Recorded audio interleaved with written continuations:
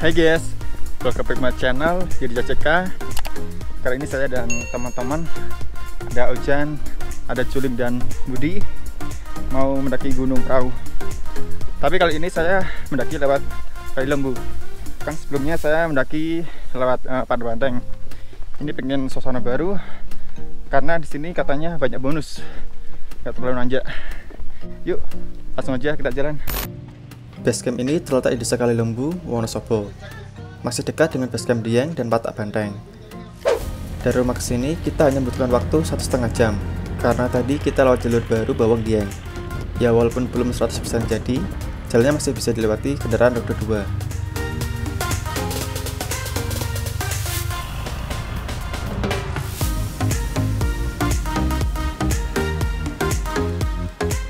Di basecamp waktu itu ramai pendaki yang sudah turun, sehingga membuat kami kesulitan untuk mencari tempat istirahat. Dan hal ini yang kadang membuat saya malas naik gunung di akhir pekan atau hari libur. Rame guys.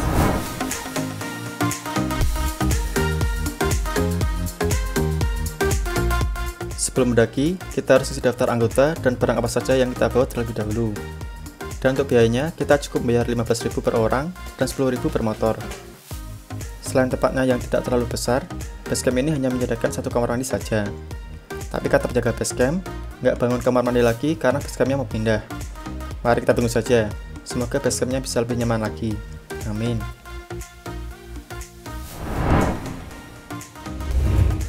Setelah simak beres dan istirahat cukup, kita mulai trekking dengan jalur yang menanjak melewati rumah-rumah dan ladang-ladang milik warga.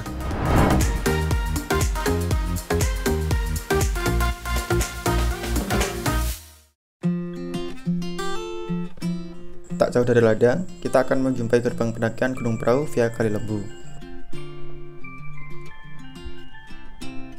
Sebelum kita mulai mendaki, mari kita berdoa menurut masing-masing. Doa mulai. Berdoa selesai. Perahu, wait!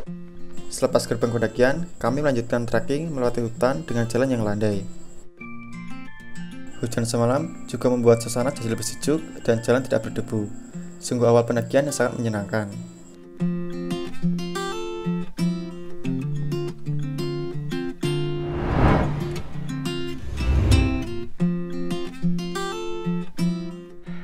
Ini kita udah sampai di pos 1 namanya Lemah Tugel. Dari pintu masuk ke sini tadi cuma 9 menit, nggak ada 10 menit. Jalannya pun bersahabat, eh, sangat landai dan mantap lah. Masuk, masuk, masuk. Ini saya lagi uh, bersama dengan artis nih, artisnya KKTV. Kalau teman-teman nggak tahu KKTV, uh, eh, silahkan cek di YouTube KKTV. Di situ ada film-film menarik yang lucu-lucu. Kita di pos satu tadi sebentar. Ini kita lanjut perjalanan menuju pos 2.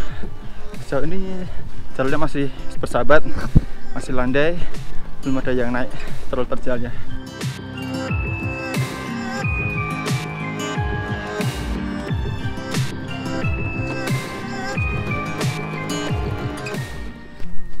Saya oke. Saya oke. Oke waktu itu trek sepi pendaki yang naik dan kita juga nyoba beberapa kali bertegur sapa dengan pendaki yang turun. Halo. Oke monggo silakan. Halo guys. Halo. Sangat cocok sekali buat uh, para pendaki pemula nih. Walaupun jalurnya lebih lama dibandingkan para banteng tapi menurut saya ini malah lebih enak. Karena bisa lebih santai.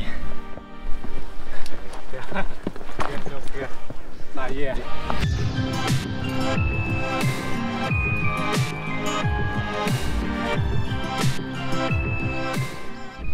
setelah jalan yang tadi ini kita disambut uh, sama tanjakan yang cukup terjal.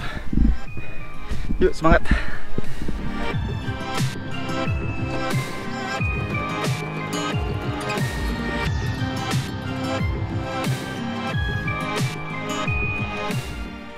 kita harus sampai di pos 2 di Pit Pandang. Tadi dari pos 1 ke pos 2 ini kurang lebih 30 menit tapi banyak jalur nanjaknya jadi kita butuh tenaga lebih untuk mendaki.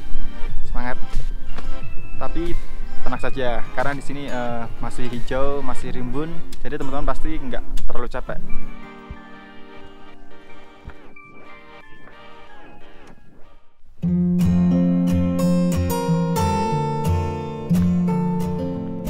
setelah melatih pos 2 kita uh, akan disambut bonus lagi.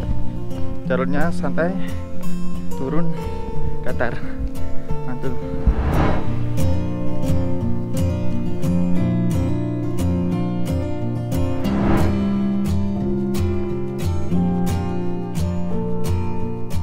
Tak lama dari trek Lahda tadi kita akan melewati trek menanjak.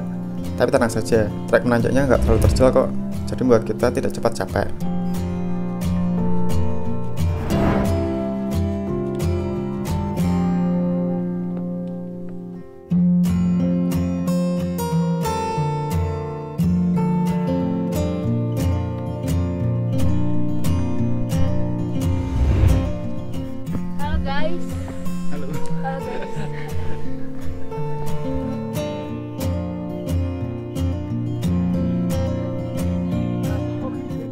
kita udah sampai di pos 3 tadi dari pos 2 ke sini kurang lebih 40 menit.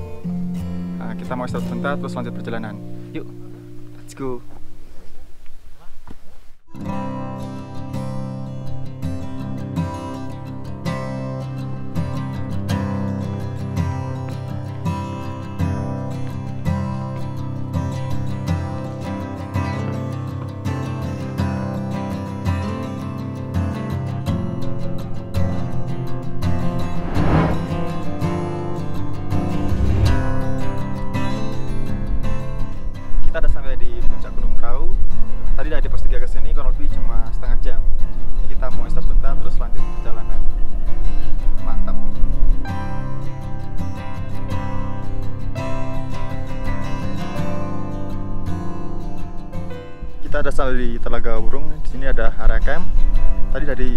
puncak ke sini cuma 5 menit. Sebenarnya Telaga Burung ini bagus kalau nggak kemarau ya. Soalnya ini banyak tanaman yang gersang jadi kurang bagus view-nya.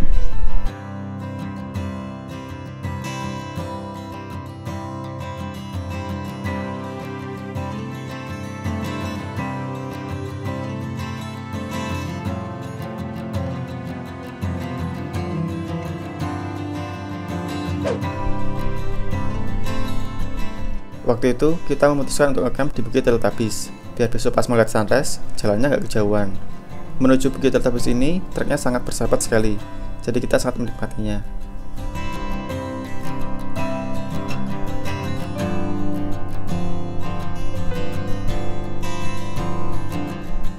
Dari Sabana tadi ke Bukit Teletubbies kurang lebih setengah jam.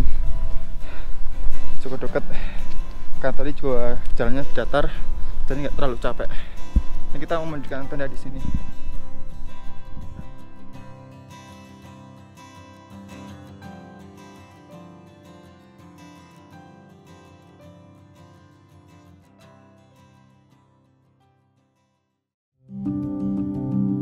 Pada bulan waktu itu, menemani kami masak dan makan malam. Andai ada kamu, pasti romantis nih.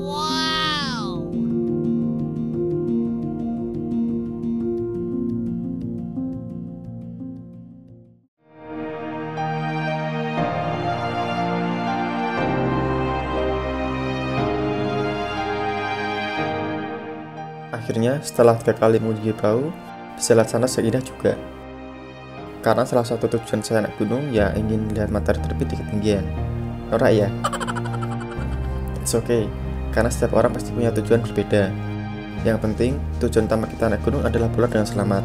Puncak dan sandas hanyalah bonus. Kalau alasan kamu naik gunung apa? Mungkin bisa berbagi cerita di kolom komentar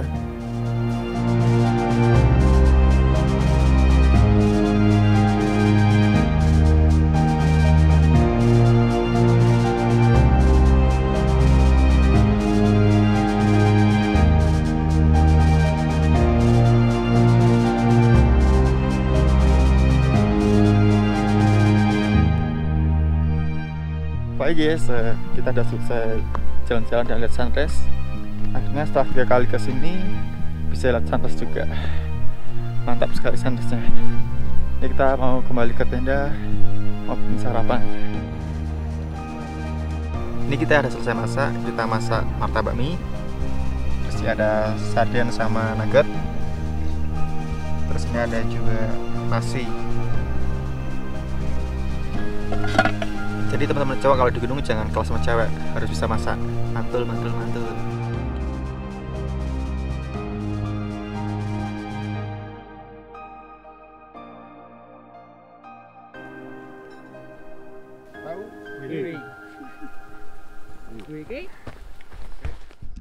Ini tamu Lasiale. Ini siapa Mas? Kusno Mas Dimar ini ada Bang apa nih? Alpha Design Mas Rizbi Mantap. Terima kasih Mas. Forza Lazio